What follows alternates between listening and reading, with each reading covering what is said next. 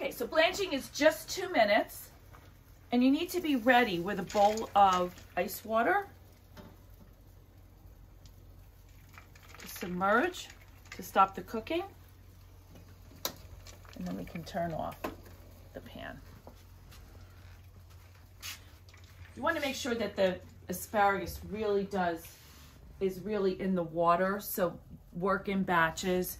This was a tiny batch that we were doing, so we could do it in this um, shallow pan, but we also have a Dutch oven ready if we wanted to do, if we wanted to do more of it.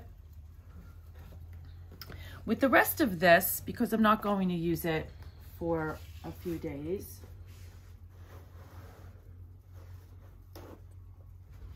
I can just dampen a little bit of paper towel.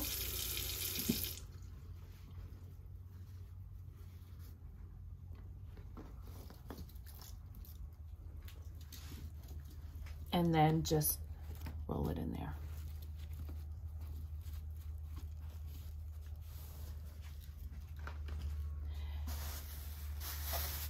And then as long as the, as long as the bags seem to not um, have a lot of soil in them or um, any residue from vegetables, you can you can use them again.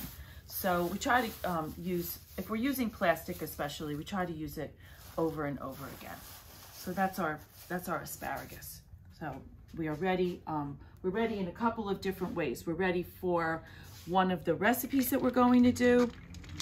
We're ready for a, um, to go in and we could clean more. We're ready for um, this one or this one.